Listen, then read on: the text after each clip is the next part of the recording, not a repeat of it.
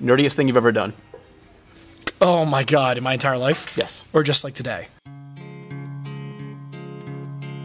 Um, I dressed up like Doctor Doom once for Halloween. Talk to you.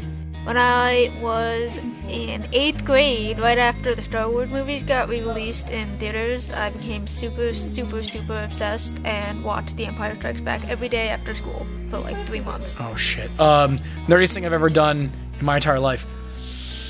Uh, I may have uh, dressed up to go see a midnight showing of several Harry Potter movies.